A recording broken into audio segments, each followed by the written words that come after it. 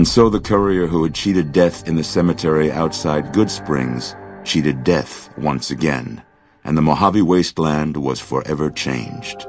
Caesar entered the strip as though it was his triumph.